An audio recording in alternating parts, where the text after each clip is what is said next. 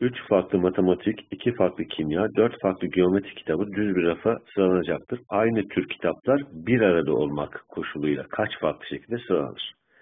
Bir arada olmak koşulu dediğine göre paket yapmamız lazım. 3 matematik kitabını paketleyelim.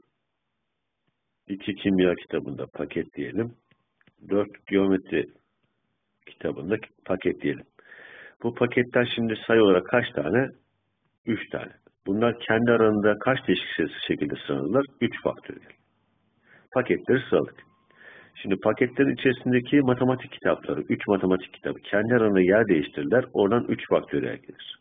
2 kimya kitabı kendi arasında yer değiştirir. 2 faktöriyel de oradan gelir. 4 geometri kitabı kendi arasında yer değiştirirse 4 faktöriyel de oradan gelir. O zaman istenilen cevap 3 faktöriyel, 3 faktöriyel, 2 faktöriyel, 4 faktöriyel E seçeneğidir.